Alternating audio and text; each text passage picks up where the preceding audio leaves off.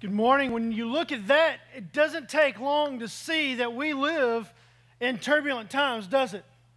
We live in times of chaos, whether we're talking about the election, whether you're talking about riots in the street, whether you're talking about terrorism. It only takes a few minutes of watching the nightly news to understand that we live in turmoil times. Times just consistent of of turbulence and, and hard times and difficult times to understand how to navigate them. Does anybody else just get tired of seeing the negative on the news every single day? Okay, good. That's why I don't watch it anymore. I just had to say, no, I can't watch it anymore. It's just not worth it. We live in times that are just full of chaos. And every day it's just more and more of this chaos. And it doesn't take long to see that sometimes in life we just have to put the seatbelt on and figure out how are we going to make it through it. So today we start this new series called Turbulence. What to do when you don't know what to do.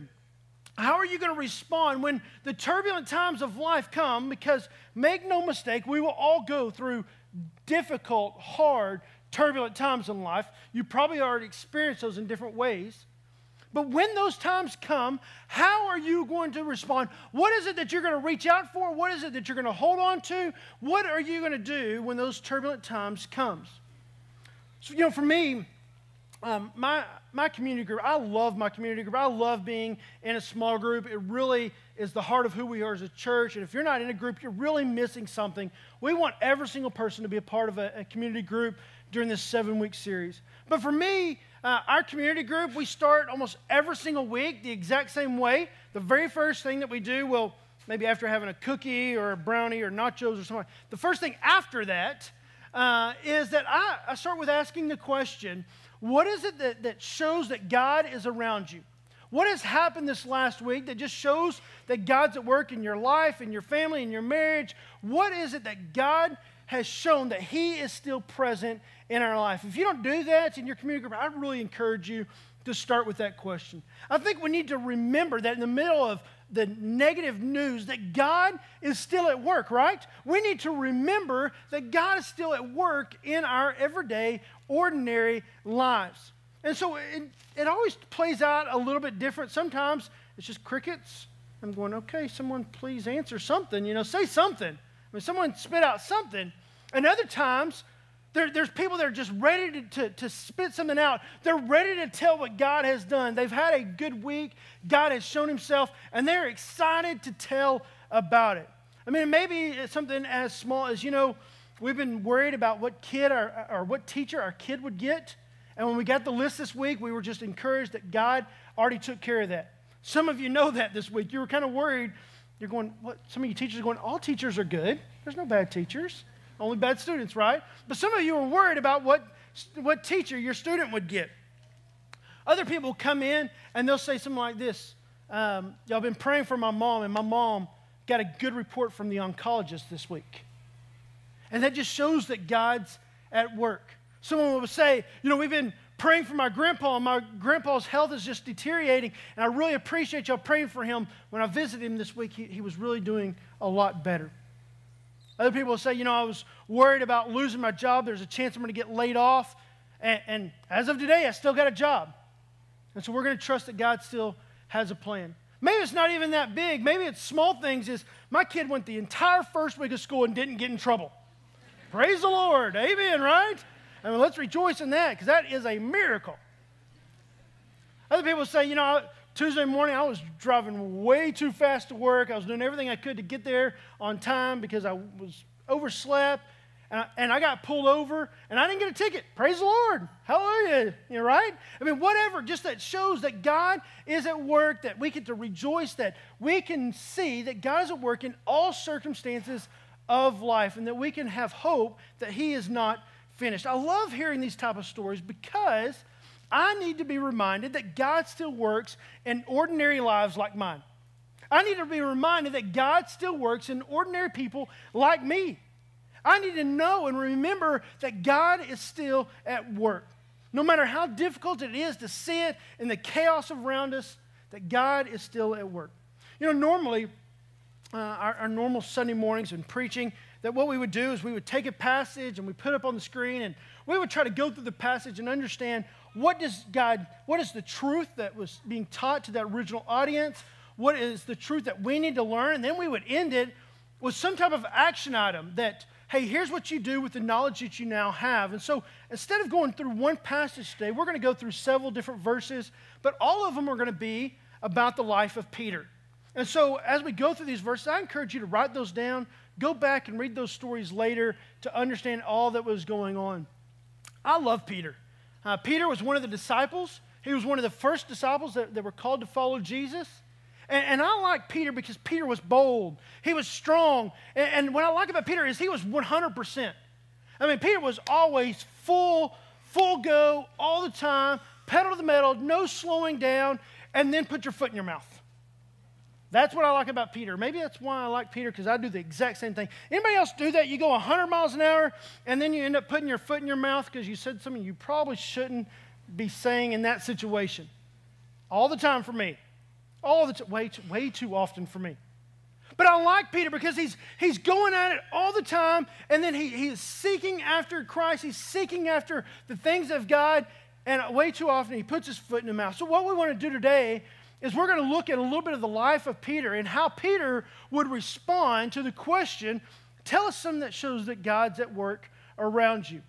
And so, I, you know, thinking about it and just thinking about sitting in a home, thinking about sitting around with six, five, six, seven, eight other couples, and someone asked the question, hey, tell us something that shows that God's at work, excuse me, in your life and in the life around you this week.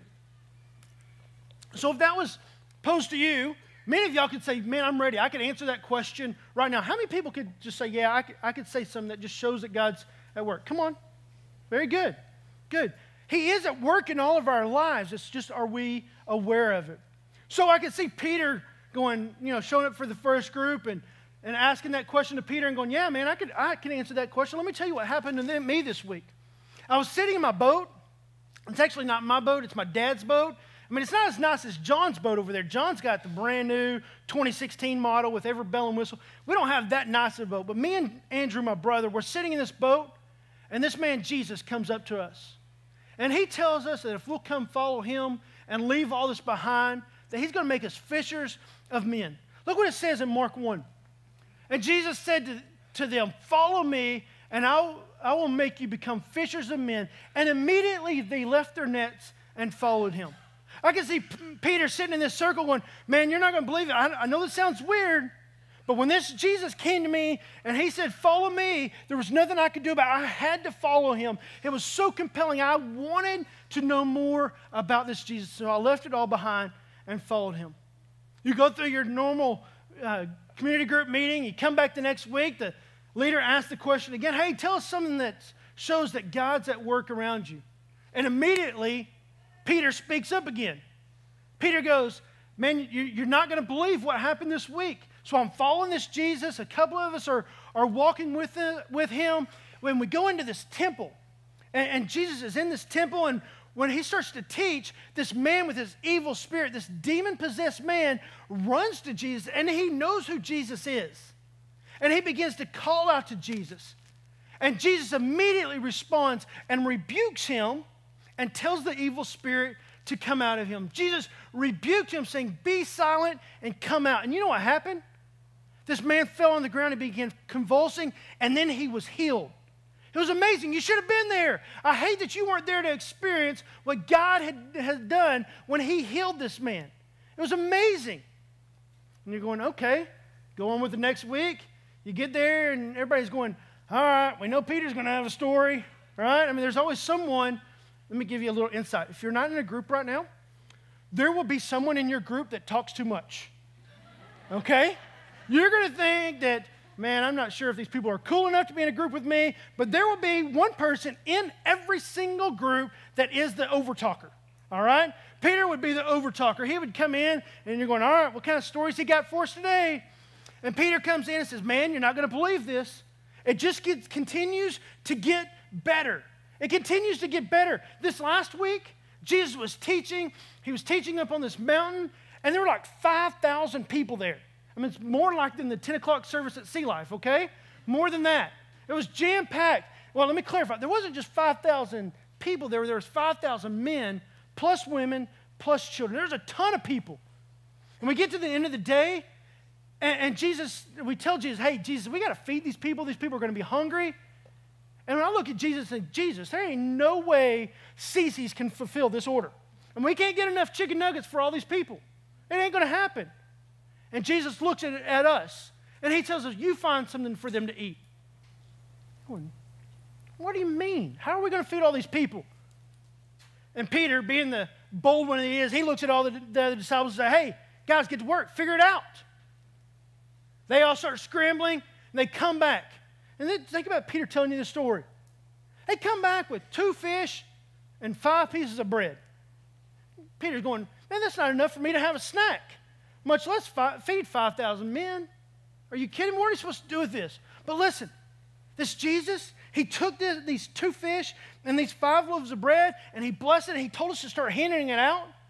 And we started handing it out, and then we handed out more, and then we handed out more, and we handed out more, and we got to the end, and there was baskets full of food.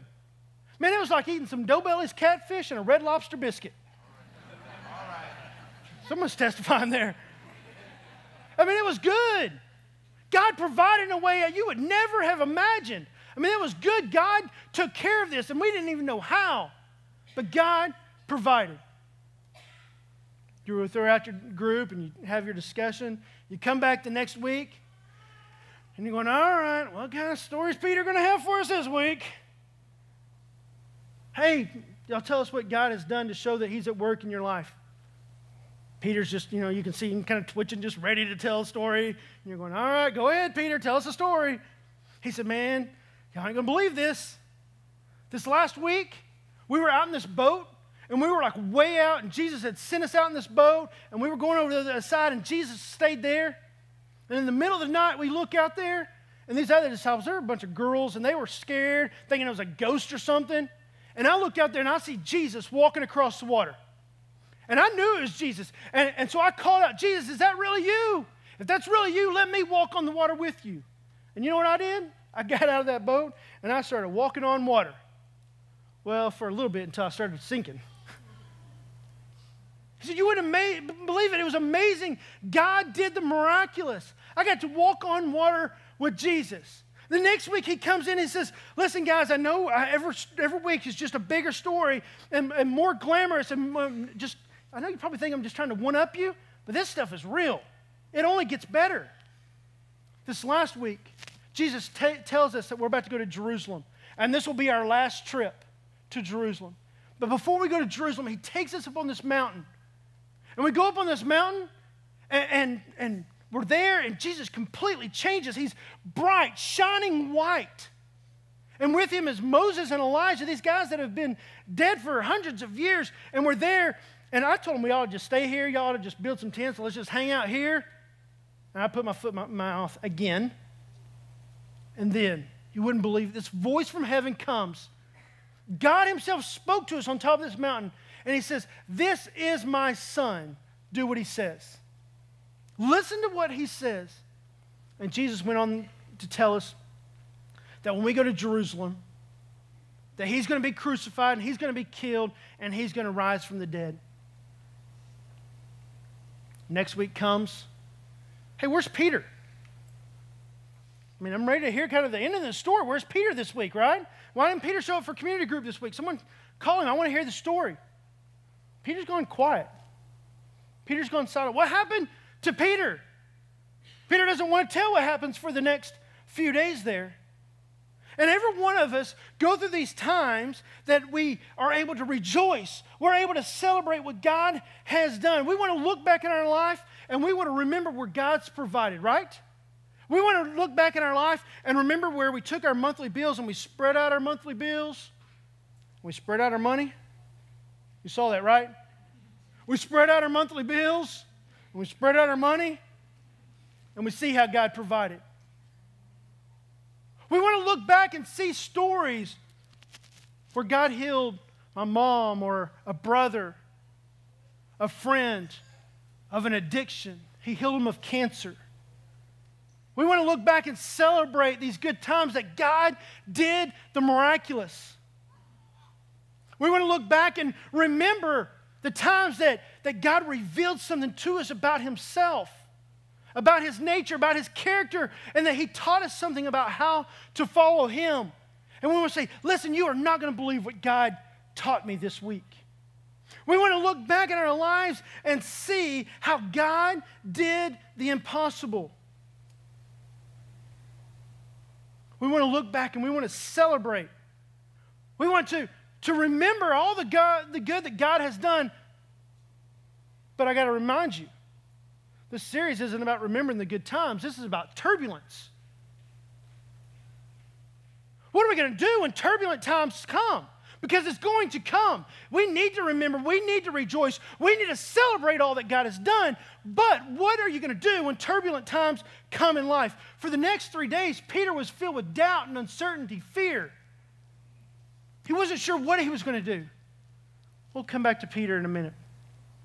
For my wife, Leslie, and I, we've had a chance to go on a few trips. And anytime we fly, it seems there's the same thing happens every time. We, we're coming back from a, on, on our trip. Everything's been going good. We're sitting there and we're just kind of talking about how great the trip was and just kind of reminiscing. And all of a sudden, ding, put your seatbelt on, and rough, rough flight's coming. And I know what's about to happen.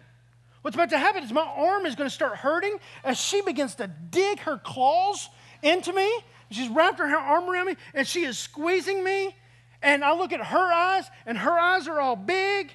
And my eyes are just trying not to cry. I'm going, that hurts. Let go, please. This fight's going to be okay, but my arm, I'm not sure.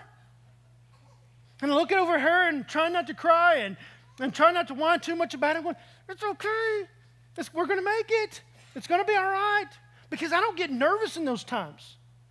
It just doesn't bother me. I've never been motion sick. I don't get scared during those times. I'm just not worried about it. And so I became I get to be a point of stability and strength for her during that time. I mean, honestly, I've looked at the brochure and what it says to do if it gets really bad, oxygen is going to f- fall down, put the mask on, lean forward, put your head between your legs, and you just kiss your ear and goodbye. I mean, if the plane's going down, there ain't nothing to worry about. It's going to be all be good. Until this last March. This last March, myself and the connection pastors uh, from our other campuses, we're at a conference uh, in California. And the way back, the flight was really rough. It was like one of those flights that no one was really talking, no one was moving around, uh, the flight attendants weren't coming up and down the aisles. It was really, really rough. And I'm sitting there and, and I'm just playing on my iPad, and Jared Douglas, who oversees our Kaufman campus, is sitting next to me and, and playing my iPad, just playing a game there. And all of a sudden I go, whew, that didn't feel good there. That was, that was a big drop. Oh, whew, I, I don't feel well. Things are not right. I cannot believe I'm going to be, oh gosh. Jared, hold my iPad. And I go to stand up thinking, I've got to get to the back of the plane right now. I mean, like right now, I've got to get back there. I stand up, almost fall on this lady over here, think I'm going to throw up all over her, throw up all over the floor, fall on the floor. I can't stand up. This plane's bouncing all over the place. And I think, I've got to be able to sit back down because I can't get back to the back. And I go to sit back down, and Jared Douglas must have seen like the green look on my face. And he is frantically digging through the seat back in front of him frantically going through there, and he pulls out this little paper bag about this big and goes, Here. I'm going, but that ain't going to handle it. That is not going to work.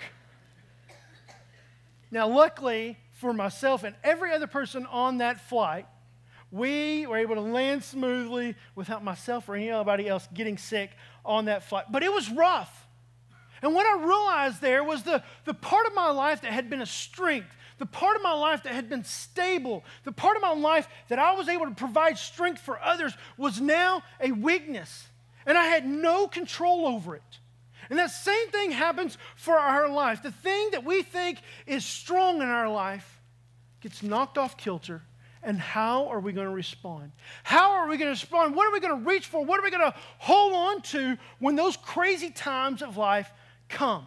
What are you going to do?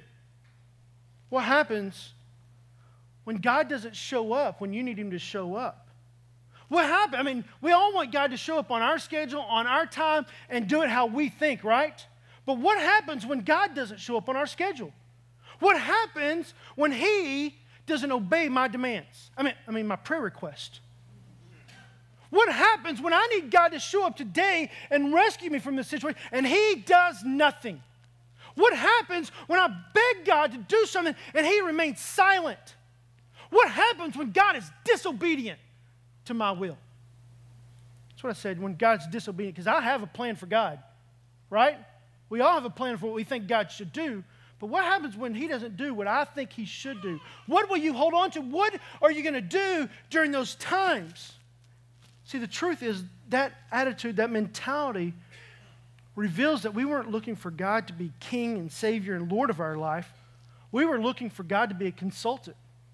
We were looking for God to be a partner or an advisor to help us when we need Him, to be a genie in the bottle that when God, when I need you, I need you to show up, but not really being Lord of my life. Let me see if I can illustrate this way. I need, I need a volunteer. Chase. Chase, would you come on up here for me? Y'all give it up for Chase as he comes up here. Here's what we're going to do. Chase, come sit right over here on the stool. You're, you're center stage, bud. Right here. Okay. Scoot up a little bit. All right, that's good. No, no, not that far. What are you doing? Come on, right here. Right here. All right, there you go. All right, so here's what we're going to do. Here's, for today, Chase, you're going to be God. Okay. Okay? Some of y'all over here don't feel like that's a pretty big stretch, all right? Understandable. But for, for, for the next few minutes, Chase, you're going to be God.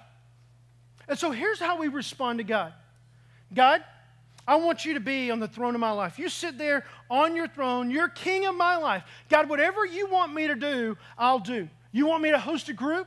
God, I'll, host a group. I'll text that number right now and I will host a group. I'll step on on faith. I'm scared, but I'll trust you. God, you want me to go to Ghana? I'll go to Ghana. God, you want me to teach third grade? God, whatever you want, I'll do that. And so, whatever you want, God, you, are on the throne. You know, God, things have been going pretty, God, God things have been going, Oh, scoot over, scoot over just a little. Hey, where, where are you going? Sit back on your throne. No, okay, God. So, you know, God, things have been going pretty good in life, and I really appreciate how, how you've been taking care of me, and, and, and God, you, you, you, know, you've been doing really good, and things are, are going really well in life, and you're doing a, a great job. Wait, what, my boss wants to talk to me on Friday afternoon? I'm going to get laid off? I'm going to lose. God, you better get back on your throne. Get back on, get on your throne. Sit there, God. I need you to take care of this. I can't lose my job, God. I got kids to take care of. I got a wife to take care of. God, I can't lose my job. You got to be on, God, you take care of this. God, thank you. I got, got an interview. I got a job, a new job. God, thank you for taking care of me in that. I appreciate it, God. You're doing such a, I got a new job. I got a raise. I got benefits. I got insurance. I got it all. God, I got a new office. Man, God, you are doing a great job. God, thank you so much uh, for taking care of me. I, I, really appreciate. Where you, where you going, God? I mean, you sit on your throne. Don't go ahead and sit, sit down, God. No, okay, God. So what? Uh, you know, God, things are, God, things are going really good right now, and God, I really appreciate all that you're doing and how you're taking care of me and how you provided a new job. My head's hurting. My head's been hurting for a few days. My head really hurts. Oh my goodness, I got a tumor. Sit down, God, get on your throne. I can't have a tumor. Oh my goodness, my, my head hurts. I've got a brain tumor. Oh my goodness, what am I going to do? God, you better get on your throne. You better do something. Jesus, help me. Help me do something, Jesus. You've got to rescue me from this. Oh, test results came back. I just had a sinus infection. Whew.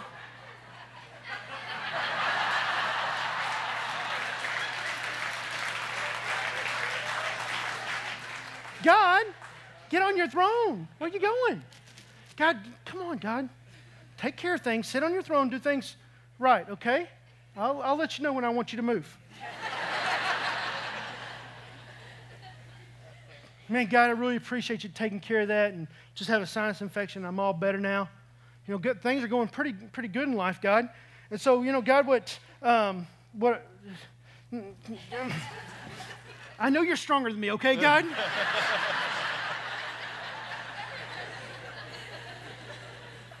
But God, but God I, I've been single for a long time. You know, it didn't really happen like I thought it was going to happen.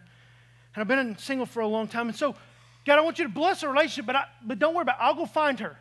I mean, I'll, I'll go to find her and, and, and, and I'll make it work. God, you see Christy over here? We got it going on. And Christy's got it going on. We got it going on. We're pretty awesome together. I mean, look at us. We look great together. Things are going really well. I mean, we're leading a community group together. I mean, things are going well.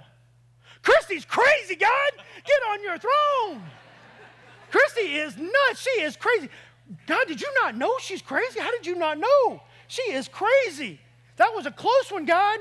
What are we going to do? You going to let me go all the way with that? Woo. She is nuts. You better, God, you got to warn somebody else about her. All right?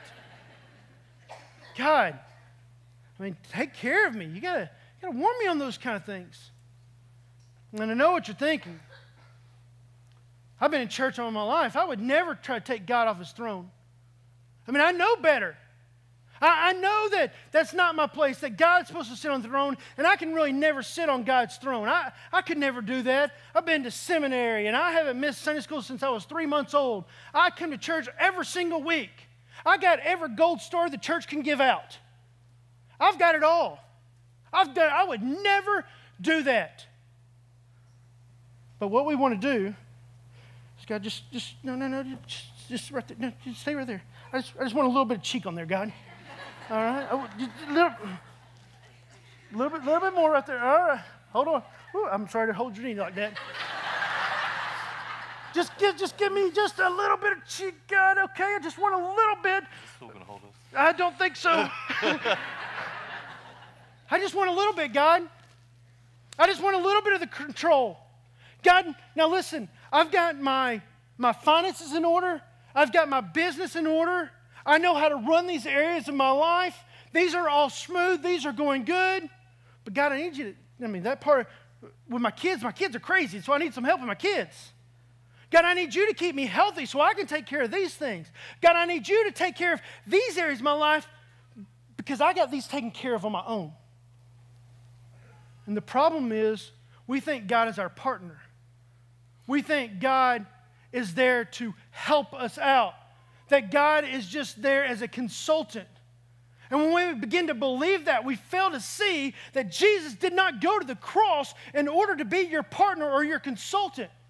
He rose from the dead because He is God, that He is Lord alone, and that He alone has the power and the authority over my life and all the world. So, why do we think we need to hold on to a little bit of power? A little bit, just, just give me a little bit. No taking pictures of this, no tweets, no Facebook post of this right here, okay? Just, just give me a little bit, God. Why is it that we think we want a little? Chase, thank you for your help, bud. You can go sit down. Y'all give it up for Chase.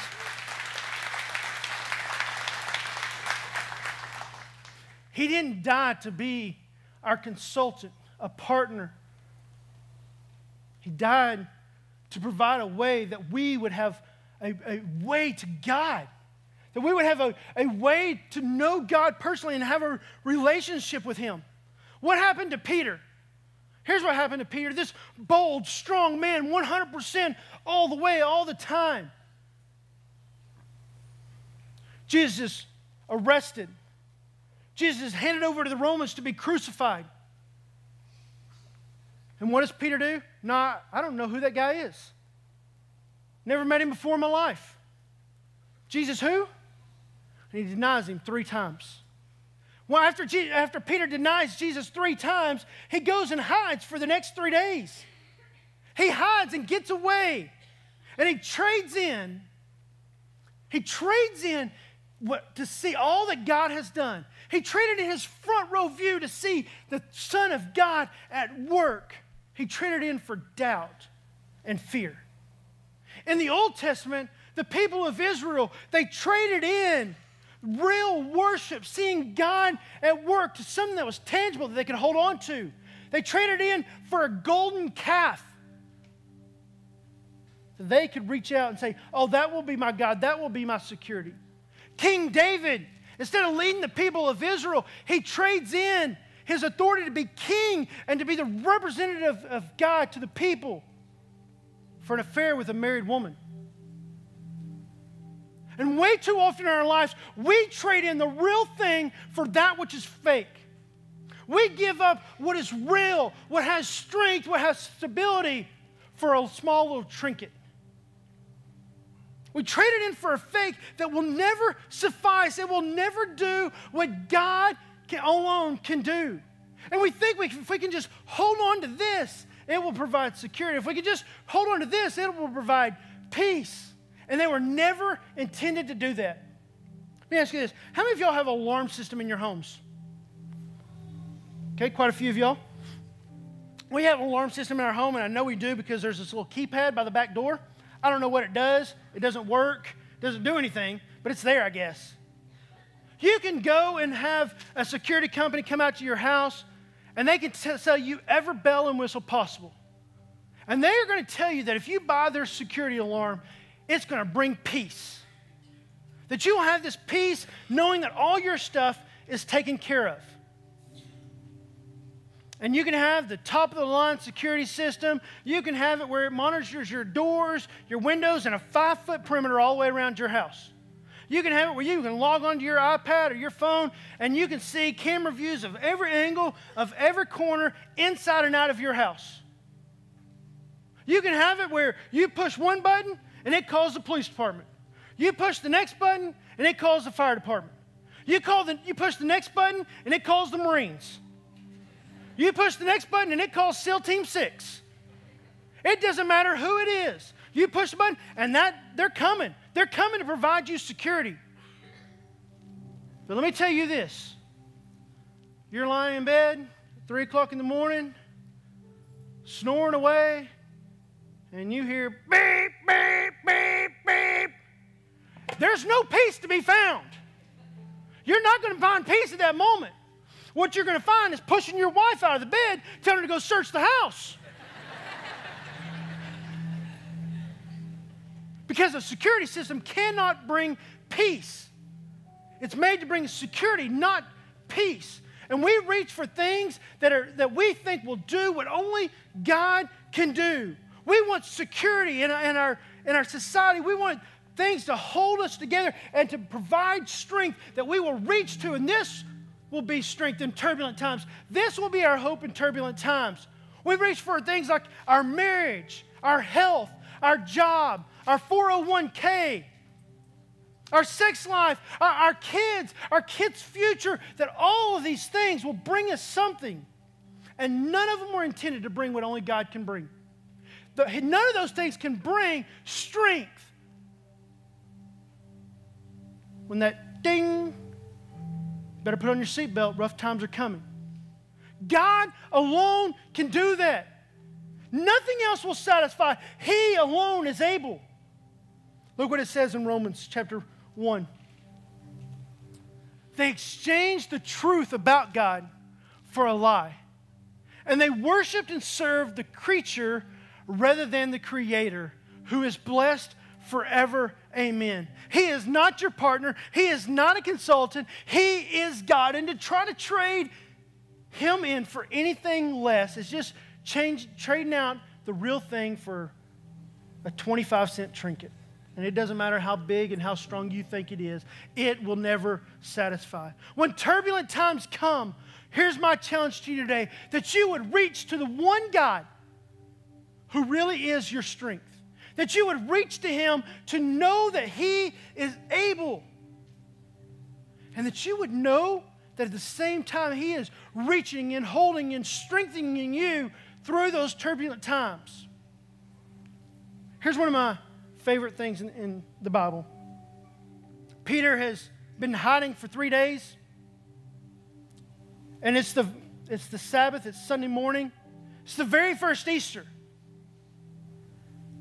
Jesus has been in the grave, and Mary and some of the other ladies, they rush to the tomb that morning. And when they get to the tomb, the huge stone has been rolled away. And they go inside and they find that Jesus isn't there, but instead of Jesus, there's this angel inside. And they're, they're scared and they're worried about what's going to happen. And look what it says. And he said to them, Do not be alarmed. You seek Jesus of Nazareth, who was crucified. He has risen. He is not here. See the place where they laid him. But go, tell his disciples. Man, this is the part I love because this is Nick where Nick puts his foot in his mouth. Nick doubts. I have fear. I have anxiety. I just don't know how I'm going to make it through. Go tell his disciples and Peter, the guy who denied him, the guy that was scared of a teenage girl, the guy who went and hid in a room for three days, go tell Peter that he is going before you to Galilee. There you will see him, just as he told you. The same Savior who was not done with Peter is not done with you. The same Savior who rose from the dead and says, Peter, I'm not finished with you. I know what you've done. I know how you've denied me. I know how you were scared. I'm not done with you. And there's people in this room, most of us, who have denied, who have been afraid, who've been so consumed with anxiety that you're reaching for anything instead of the one thing that has the strength. When turbulent times come, will you reach? Will you hold on? Will you find strength in the one God who is able to see you through, to hold you through, and to show that He is not finished with you? It was Peter who went on to lead the church. It was Peter who went on to preach at Pentecost to see thousands and thousands of people come to know Christ. It was Peter who led the church in so many different ways because God was not finished with him, and I want you to know He is not finished with you. Hold on to the one who's holding on to you through the turbulent times of, God, uh, of life. Hold on to Him, reach for Him. He is not finished. The band's going to lead us in a song. And maybe you need to stand and rejoice and worship. Maybe you need to sit there quietly and just go, God, I know that I've been reaching for things that are not real and that cannot satisfy. So, God, give me strength and faith to reach for you. Those of you just need to sit quietly. Maybe you need to pray. Maybe you need to stand and, and rejoice. This is your time to respond to God, that you would reach to Him, hold on to Him, because He is able. God, thank you.